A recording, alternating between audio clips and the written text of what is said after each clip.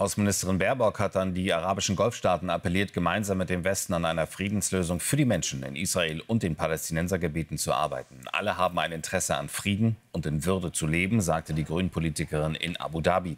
Baerbock lobte außerdem die Unterstützung der Vereinigten Arabischen Emirate für das Palästinenserhilfswerk. Gleichzeitig warnte sie vor weiteren Eskalationen. Für die Außenministerin ist es die dritte Reise in die Region seit Kriegsbeginn. Für heute sind weitere Gespräche in Saudi-Arabien und in Israel geplant. Baerbocks Botschaft, gemeinsam für Frieden und eine Zwei-Staaten-Lösung arbeiten.